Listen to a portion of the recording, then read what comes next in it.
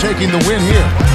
You know, Clark, every team has a bad night, these guys might want to watch the tape of this game the next time they have a bad night to remind themselves how dominant they